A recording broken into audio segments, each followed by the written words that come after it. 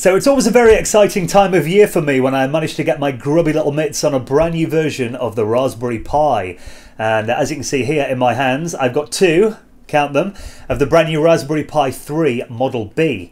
Now at the time of recording this video, it's uh, Wednesday late afternoon, these only got announced and released on Monday morning, and I was pretty amazed that I managed to log on to uh, CPC, one of their distributors' websites, at lunchtime on Monday and was able to order two of these straight away. As if you've ever ordered a Raspberry Pi before, usually the way it goes down is they announce it at like 9am on a Monday morning, and then by 9.30 everybody's bought the entire stock, and you've got a six to eight week waiting time for the next batch to get made. Although Element 14 and the Raspberry Pi Foundation have said this time around they've manufactured a lot more of the initial run uh, in an attempt to meet demand. And like I said, I got it at midday on Monday, and a CPC's website said they still had a good few thousand left in stock. I've even read on forums today that there are still online retailers where you can still get Raspberry Pi 3 stock even now like two days later. So props to those guys for realizing the big demand and making enough of them this time around. Now the Raspberry Pi tends to get a major upgrade every 12 months it seems to be at the moment. Uh, I did a video on the Raspberry Pi 2 about a year ago as now. But I've got to say this time around the Model 3 probably represents the biggest increase in performance and features that the Raspberry Pi has seen to date. Now, in a moment, I'll give you an unboxing and talk you through the performance enhancements and the new onboard features of the Raspberry Pi 3. But I just want to quickly answer one question that is the most common question I get asked about the Pi, and that is I'm interested in it, but what on earth can I do with it? Now, I've got two of these. One of them is going to live in my living room as a media center. So there's a thing called Kodi that you might know as um, XBMC, it was called before, that lets you not only stream uh, media from the internet, video, audio, all that kind of thing, but also you can do it from your local area network as well. So I've got a six terabyte network attached storage device, and I can stream my Blu-ray and uh, DVD collection that I've ripped to the hard disk in full HD quality uh, via my local area network to the Raspberry Pi on Kodi. Now, I've currently got one in my bedroom and one in the living room already of the older models of the Raspberry Pi. So that's going to be one of them. Uh, the other one will probably be used for. Um, I'm thinking of repurposing it as kind of a Twitter client, which might sound a bit weird, but I, I love Twitter, but the thing is, I generally open TweetDeck on my PC or in a browser, minimize it, and then forget to look at it all day. So, what I think I'd like to do is have like a screen mounted on the wall and have a dedicated Raspberry Pi that will basically just be a, a, Twitter ticker. So it'll just scroll by all day with the latest tweets. So I can just glance up and kind of get an overview of what's going on right now. So that'll be kind of cool. And uh, these boards are very cheap. Now, I will say I got mine for £27 and they retail at 35 American dollars. So these are very low cost, uh, pretty decent performance for the price single board ARM microcomputers. Now they run on the ARM uh, architecture, which is probably the same as your cell phone does, most of them do. And uh, people use these for all kind of things, like I said, media centers. Uh, fans of my channel might be interested in a project called uh, RetroPie, which is an emulation suite. And with the performance boost that you get on this, a lot of people are saying that you can emulate up to the 32-bit generation just fine. You know, stuff like the N64 and the Dreamcast emulation is apparently pretty smooth on these. Obviously, you've got stuff like the old arcades, MAME, the Amiga, the 8-bit machines as well. So these make really small portable pretty powerful emulation suites. I've seen guys using them for like home automation, um, stock tickers to keep an eye on the stock market. Even people put them in like drones and use them as onboard computers. And with the performance boost that you get on the Raspberry Pi 3, it's kind of getting to the stage now where you can use it as a day-to-day, very low-cost computer. Now, obviously, it's not going to replace my Core i7 16 gigabyte PC behind me that I use for, you know, HD video editing, but for stuff like Facebook and web surfing and word processing and email and that kind of thing, um, you know, get a keyboard and a mouse and a monitor, and you've pretty much got a nice day-to-day computer system for under £100. So let's have a little look at the Raspberry Pi 3. I'll give you a little setup guide if you're going to look at getting one and show you a bit about what you can do with it. But first of all, let's do a quick unboxing. And here are my two Raspberry Pi 3 Model Bs. Now, these just came in the post this morning, so what we'll do is a quick unboxing of one of them, and I'll show you what's included in the basic package. There's not really a lot to it, really, so you get the main Raspberry Pi itself, uh, and also a little bit of documentation, but it's just, you know, terms and conditions and that kind of thing. There's not really a lot to it, really, so it comes in this anti static bag here, uh, which we'll quickly take it out of. and that is the Raspberry Pi itself. Now, it comes as a bare circuit board. It doesn't come with a power supply, a keyboard, or uh, even a case. You've got to provide all that yourself. Although, I will show you something quickly. This is my Raspberry Pi 2 that I did a video about last year. If you want to watch that, I'll put a link in the video description. But I've actually opened this up, so if we pop the, uh, the case open quickly, let's push this out the bottom, you will see that the Raspberry Pi 2 and 3 actually use the identical same port layout. Everything is in the same place. So that means that you can use the same case that you had on your Raspberry Pi 2 on your Model 3, which is very handy because usually you've got to wait for like third party companies to you know make cases for it weeks and weeks after the initial ones come out. Although this time round, the Raspberry Pi Foundation have got an official case, of which I've ordered two of those, but um, they're all out of stock at the moment. I've got to wait about a month. So in the meantime, I'll be putting my three in the same case that my 2 lived in. So we'll just pop that to one side quickly and we'll have a look at the board itself. Now, obviously, if the port layout is the same as the 2.0, the connectors are all pretty much identical. So we have four USB 2.0 ports here. I have noticed a lot of people bitching on the forums going, oh, by now it should be USB 3.0, surely. The thing is, I did mention before, this is a £27 board. It's designed to be very low cost. Unfortunately, the time of release, 3.0 is just too expensive. You know, it's above the pay grade for this board here. And maybe, you know, in 12 months from now, the price will come down and you might get USB 3.0 on the Raspberry Pi 4 12 months from now. But at the time of this, they can only afford to put USB 2 on here.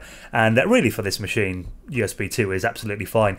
You've got an Ethernet connector here too. There is an all in one uh, video and audio analog port there, um, 2.5 millimeter jack. We have a full-size HDMI connector there, a micro USB that's used for powering the board. Underneath there, there is a micro SD card slot that's used for your storage for the system, put your operating system on, that kind of thing. We have some GPIO pins here for connecting external hardware, and also we have the camera and the uh, digital serial interface here too. Now these remain unchanged from the Raspberry Pi 2 as well, so any camera or external hardware that you had should, you know, work completely fine with all these connectors. They're identical to the last machine. Now if we spin it on its side, I'll talk you through some of the performance increases on the Raspberry Pi 3. Now, most of the work is done by this um, system on a chip here. This has got the CPU and the GPU on board. Now, this machine is actually the first Raspberry Pi that comes clocked above 1 GHz out of the box. The Raspberry Pi 2 had a quad core 900 MHz CPU. This has got a 1.2 GHz CPU on board here. Now, you might be thinking that's only like, what, a 300 MHz gain? The thing is, though, architecturally, it's been upgraded. The old machine used a Cortex A7, and this one has got a Cortex A53 on board. So that means it's now a full 64 bit CPU. So not only do you get that 300 MHz um, improvement, but also the architecture is a lot faster too. So you should see some quite nice performance increases over the last model. Uh, and also the uh, GPU has been upgraded as well. Now it's still the same Broadcom Video Core 4, uh, but in the Raspberry Pi 2 that's clocked at 250 megahertz. In this, it's nearly double that, 400 megahertz, and it's dual core now too. And these machines are actually very easy to overclock. There have been reports of people running these on the subreddit at 1.45 gigahertz without any cooling, which I will say straight away that is a very brave or maybe stupid thing to do. As that there is a user on Reddit, his name is uh, Galifree. Uh, Galifree, I hope I've pronounced that right, probably not, but he has done some thermal imaging of the Raspberry Pi 3, and even with the CPU on high load and the GPU doing nothing, he's reported that this system on a chip here gets as hot as 100 degrees Celsius, so it reaches boiling point. So I will say, if you're going to use your same case that you used on the Raspberry Pi 2, or you're going to do any overclocking, I'd advise you have a well ventilated case, or some users have been adding, getting heat sinks to it, or maybe even a fan, a little mini fan connected to the GPIO ports to get voltage. So I will say, do that at your own risk. You do not want to fry this machine, and by the sounds of it, it runs a lot warmer than the previous models of the Raspberry Pi. Now, if you flip it over, um, whereabouts is it? There we go. Be very careful with that because it is fully exposed and it is quite easy to scratch and damage it apparently. But now the Raspberry Pi 3 has onboard Wi-Fi and Bluetooth, which is, you know, a godsend if you want to do stuff like a media center. Before I needed to have a USB to Wi-Fi dongle uh, using one of the USB ports, and apparently the performance on the onboard one is uh, almost double or triple what you get on the USB ports.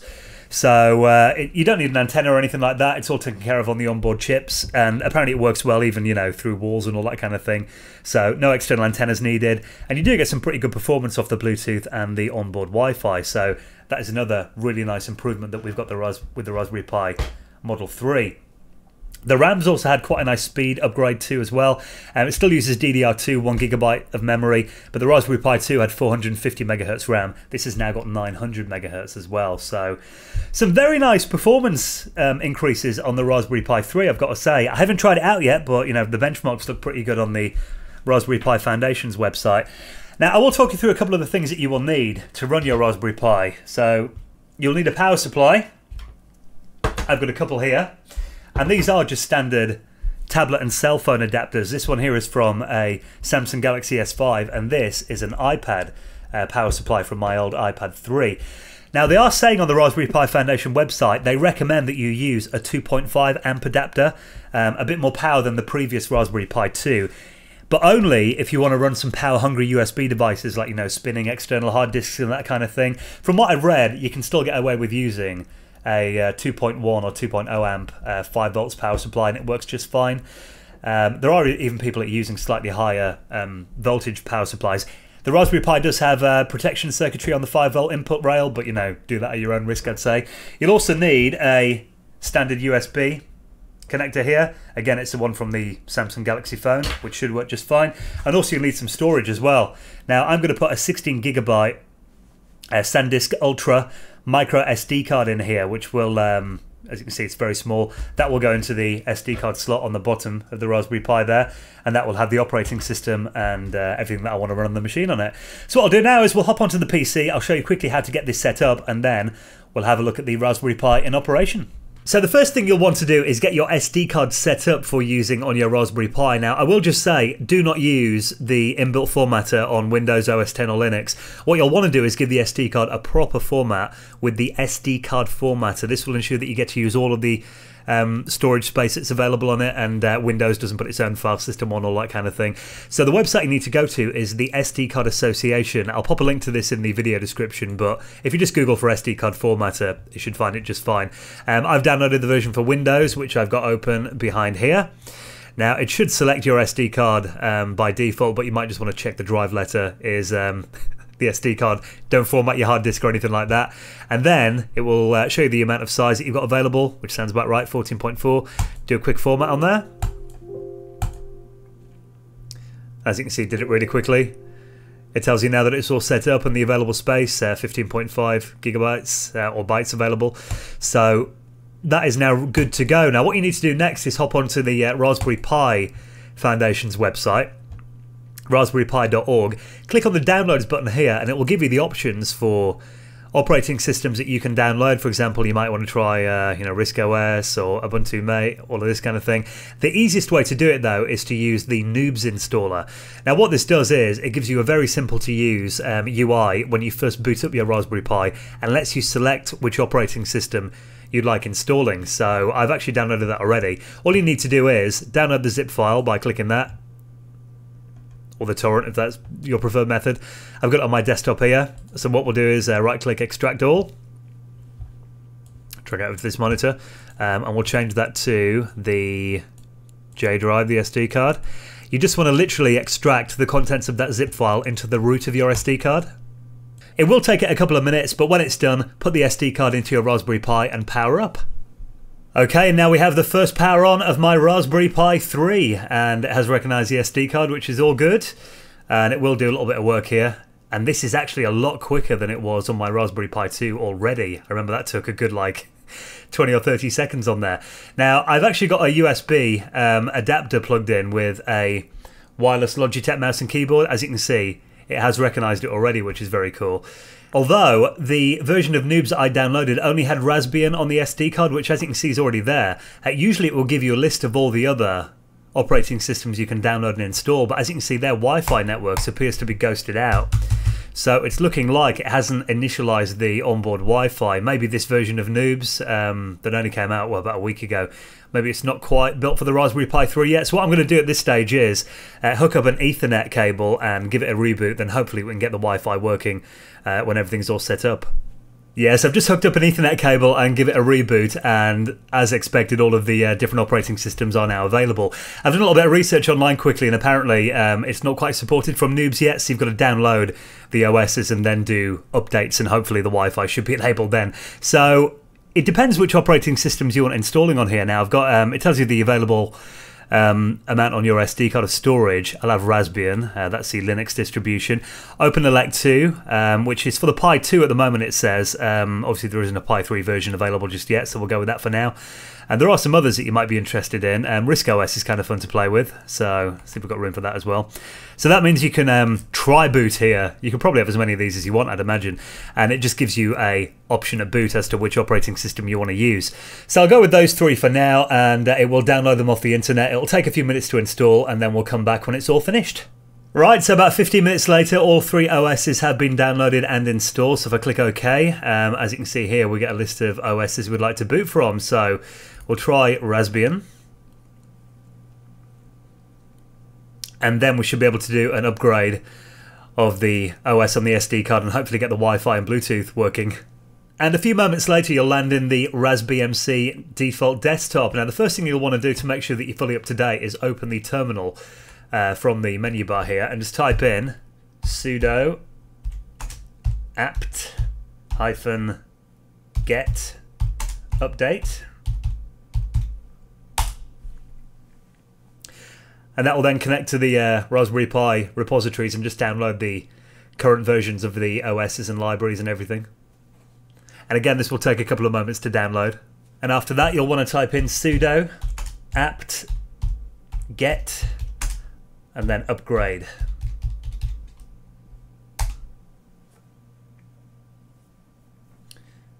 Just say yes to the prompts. So the upgrade took around 10 or 15 minutes. I've since removed my Ethernet cable and rebooted the Raspberry Pi and voila, up in the title bar there we do have Wi-Fi available. Now uh, I've already associated it with my home network. I am two rooms away from my router so um, that kind of is moving between two and three bars of strength. Um, but it should be pretty usable I imagine. We'll just have a quick look at the OS here as well. Uh, even checking out, you know, file browsing and that kind of thing. On the original Raspberry Pi, you'd actually see the windows redrawing. it struggled that much. Uh, so we have a few programs that are bundled with this. There is a should be an app store on here as well. If we have a little look, Raspberry Pi resources. Let's try that.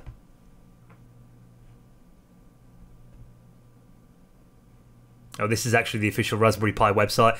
But we're opening the uh, web browser here as well, so even the speed of that is pretty decent. I remember on the first Raspberry Pi, it wasn't really usable for this kind of thing. It was too slow, but looking at this, you know, you can do, just type google.com or something. That'll do it.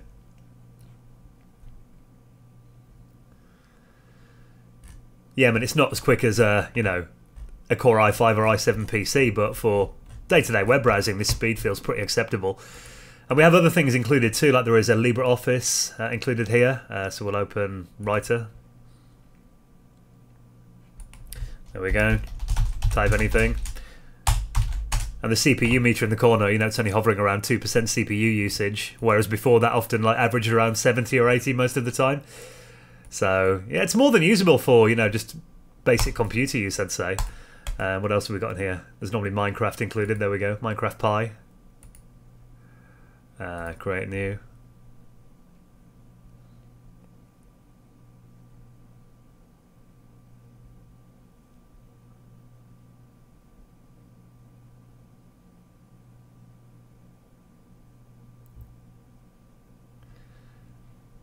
And yeah, that you know, that runs nicer than it did on the previous machine too. And this comes bundled with uh, RasBMC for free, so that's pretty cool. If you're a Minecraft fan, I'm sure lots of kids buy them just to play this. So that's been a quick look at um, RasBMC. Obviously, feel free to install it and play around with whatever you like. I'm now going to put my Raspberry Pi in my living room and get Kodi set up on it. So I've got the Raspberry Pi 3 set up in my living room now with a couple of USB adapters, one for my uh, wireless mouse and keyboard and another one so I can use a Windows Media remote with it, which will be useful for controlling Kodi. Now, unfortunately, the version of Kodi that was supplied with the Noobs installer didn't work on my Raspberry Pi 3. Um, luckily, they have just released a new update of it this week that I did a manual install of, and as you can see, it's working just fine here. So I'll pop a link to that in the video description. And at the moment, I'm going onto my um, local network attached storage drive and just indexing all the movies and TV shows, and actually even downloads all the artwork from uh, IMDb, which is very useful. And even with that quite processor intensive task, you can see I can still play a movie without stutter or lag or anything. So yeah, definitely does feel a lot more responsive than my Raspberry Pi 2. I've got to say, very impressed with it then. That's been a look at the Raspberry Pi 3. If you've got any questions, leave them in the video comments box. Thank you for watching and I'll catch you in the next vid.